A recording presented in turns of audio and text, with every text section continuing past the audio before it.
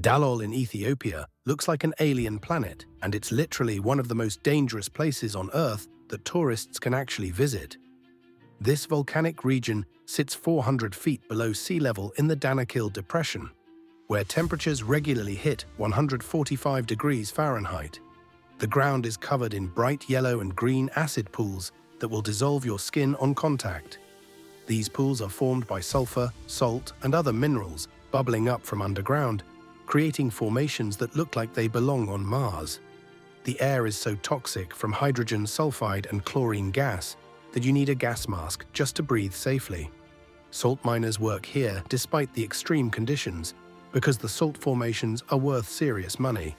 What's absolutely insane is that scientists recently discovered life forms in these acid pools that survive in conditions similar to early Earth.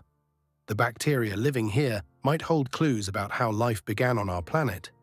Yet somehow adventure tourists pay thousands of dollars to camp here overnight in one of the most hostile environments humans have ever encountered.